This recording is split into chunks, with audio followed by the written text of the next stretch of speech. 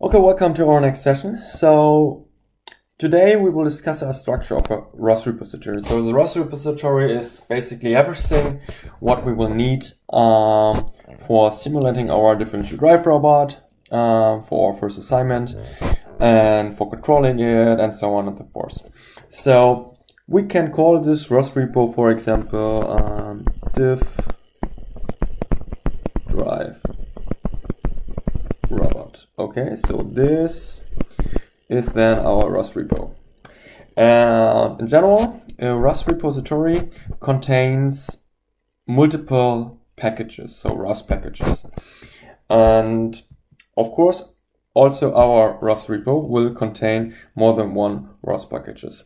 For example, there will be definitely a simulation package. Um, let's call it, for example, this way, sim package. Um, this package will contain everything uh, which we require from Gazebo and so on. So everything what we require for our simulation.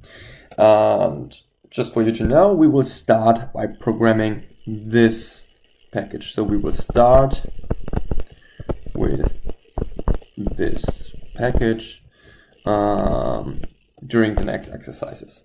Okay. So this is our simulation environment package. So then we might have different other packages. For example, if we have a real robot, we would use an interface package which connects our hardware to our software, uh, so to our ROS system. So we could uh, call this int package for uh, our interfaces.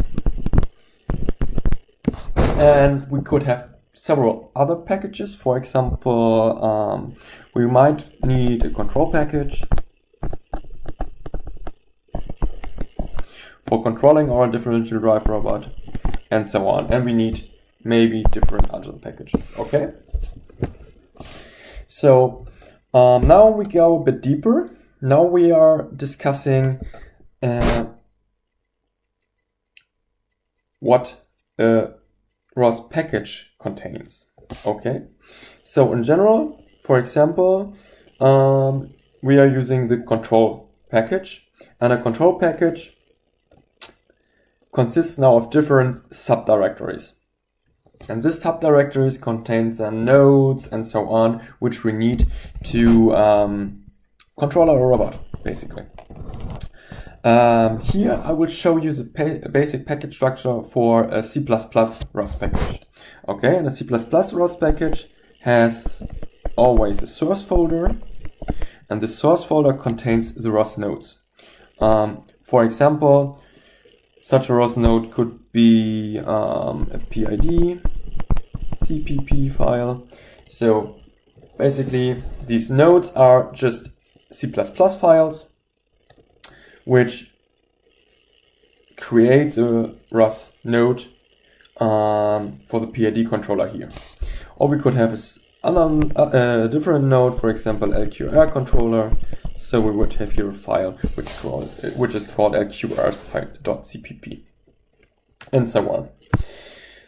The second folder, the second folder of a um, C++ ROS, uh, ROS package is in general a launch folder. So on this launch folder uh, might contain launch files. For example, um, control, uh, let's call it control, control sim dot launch. So this launch file will start several nodes. For example, the PID node will be started. Um, so the PID node will be started. Then some gazebo nodes will be started, and so on and so forth, um, to then simulate a control behavior for our differential drive robot. So this makes things easier for us and ROS that we only have to call one single file for launching all different nodes.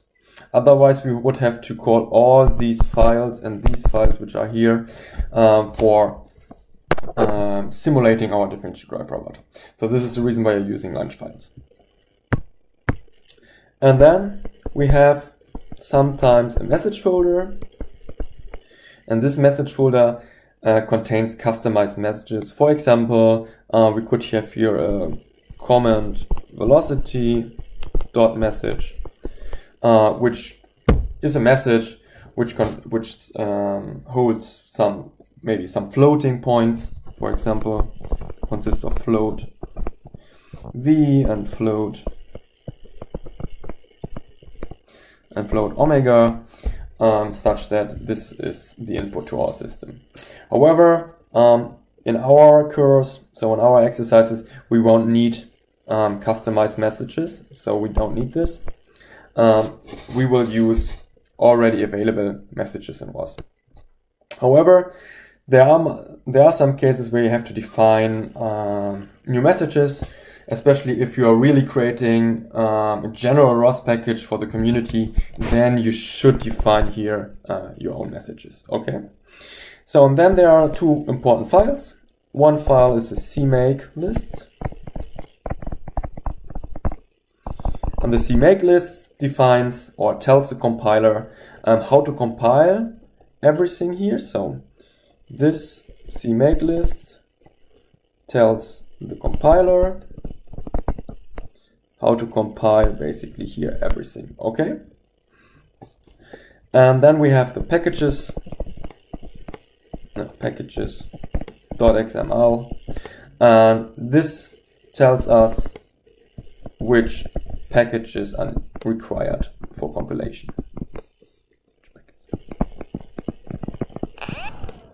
Okay, and that's it. So that's the basic structure of our ROS repo. And we will now start to design this structure for our simulation environment for so to create really a diff drive robot in a simulation environment and then steer it around and try to save people. Okay. And then we will start by as i already mentioned by creating the simulation package. So this is the first step which we create. And then we go on and create basically the control packages package uh, where we define some controller control algorithm uh, how to steer our robot in this simulation environment. So we won't need, in our case, we won't need any um, interfaces since we're not working with a real robot. Okay, let's start coding. Okay, so let's start with our um, ROS repo. But first of all, let's install a good IDE for programming. Um, and therefore we're using the Qt Creator ROS um, plugin. Uh, so we're searching for ROS Qt Creator plugin. Oh, well, and we go here how to install. We are users. And then we simply can use the Bionic online installer. So we simply have to download it save the file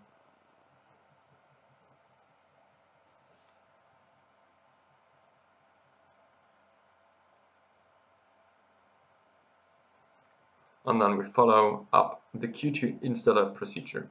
That's quite easy. So the first step will be to make the file which we just downloaded um, click uh, so executable. Therefore we go onto our file system directory and go for the download folder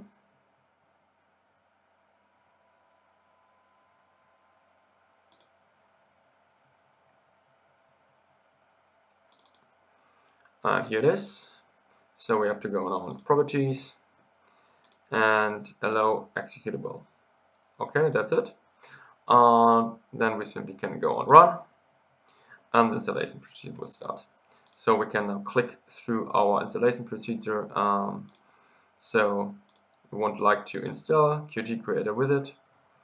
And then we simply choose one license um, we have to accept the licenses and then we go and sell.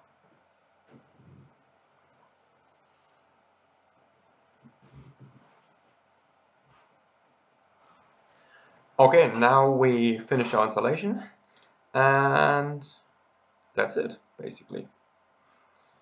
Okay, so everything we have done here, it's fine. Uh, now we can open our um, no, Qt creator. So that's it.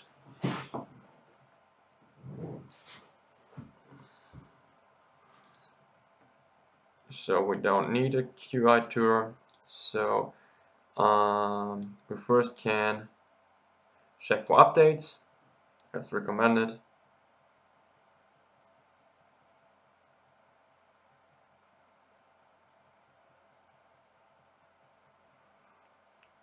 But it seems we got already the newest version. Okay. So then let's start a project. So uh, we want to like to define a new project. Um,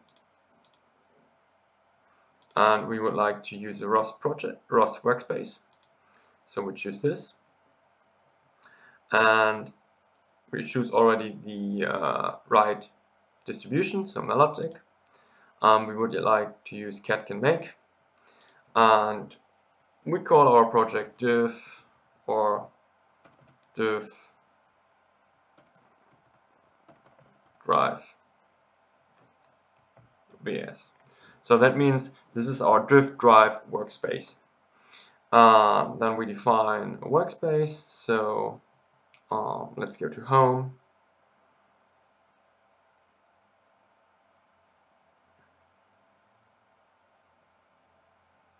And simply add here um,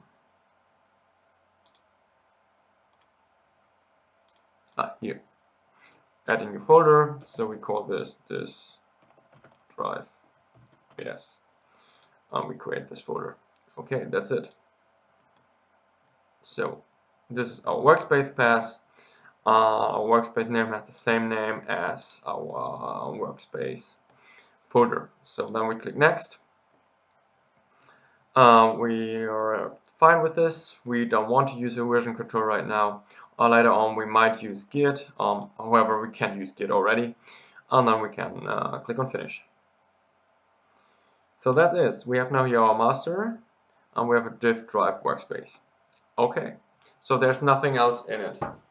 Um, so what we can do now is to add files.